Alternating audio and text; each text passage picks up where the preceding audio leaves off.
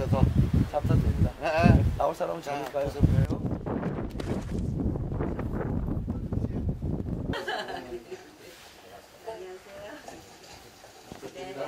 여론조사의 방법에 따라 다른 것 같아요.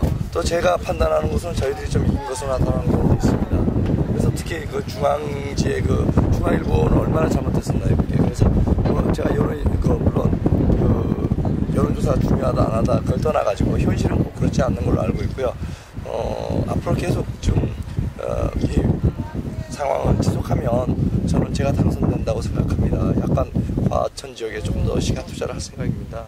송호창 후보는 그 공약집에도 보시듯이 박원순 씨, 조국 씨와 같은 약간 그 뭐 물론 능력이 있으신 분들이긴 하지만 어, 구호라든지 또 어떤 대외적 저게 강하신 분들이고 저는 21년 동안 변호사 생활하고 또 서울대, 어, 고대 사법연수원, 시립대 세무대학원에서 강의 경험도 있고 어, 그리고 우리나라 최고의 leading bank인 국민은행 또 현대증권에서 사외이사 했고요. 또 현재로서는 LH공사 그리고 삼성물산 고문, 어, 고문 변호사로 있습니다. 따라서 저는 적어도 이러한 그 저의 경험을 어, 미루어 보면 누구나 성실성을 인정할 수도 있으실 뿐 아니라 내실 있고 역량 있는 사람 아니냐라는 어떤 객관적 평가를 받을 수 있지 않느냐 그게 저가 이제 좀 차별화된 점이라고 봅니다. 인간의 사찰 문제는 우리 이미 새누리당에서 말씀하셨습니다. 자, 그건 잘못이 있다면 사과해야 되고 그 부분에 대해서는 특검을 통해서 사실관계 밝히자고 했거든요. 아마 우리 그 의왕 과천의 시민들도 민생이 문제지 그런 어, 그런 문제는 또 민생에 앞설 수 없다고 생각할 뿐 아니라 더군다나 참여정부 때도 많이 해줬다는 거 아닙니까? 그러면 서로가 정부가 지금 50보 100보인데 서로 헐뜯는 것보다는 그것은 특검에 맡기고 어, 저희들은 어, 지역 발전에 기여할 어, 국회의원을 뽑는 어, 본질적인 문제, 역량, 그다음에 능력 거기에 아마 관심을 두고 있기 때문에 큰 변화가 없다고 생각합니다. 더군다나 참여정부가 더 많이 했잖아요. 오히려 유리하면 우리한테 유리할 수도 있죠. 두 가지만 더 여쭤볼게요.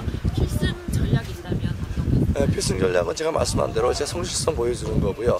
그다음에 저의 신뢰성 보여드리는 거고 저의 모든 것을 보여드리는 겁니다. 다만 에, 지금까지 에, 저희들이 변화에 좀 민감하지 못해서 어, 여당으로서 약간 약점이 있다 하더라도 현재 저는 이제 에, 발로 뛰는 경- 어, 정치할 것이고요. 그리고 귀를 세워서 민심 듣는 소통의 정치할 것이고 가슴을 활짝 여는 그런 경제 정치할 겁니다. 어, 존경하는 의왕, 과천 어, 시민 여러분, 어, 국회의원이 여러분과 함께하고 애정을 가지면 지역사회가 발전하고 여러분들의 삶의 질이 바뀔 수 있습니다. 저를 뽑아 주신다면 저는 반드시 살기 좋은 의왕 과천, 절대 떠나기 싫은 의왕 과천 만들겠습니다. 그리고 소통의 정치, 경제의 정치, 생활의 정치 반드시 이룩하겠습니다. 감사합니다. 감사합니다. 네.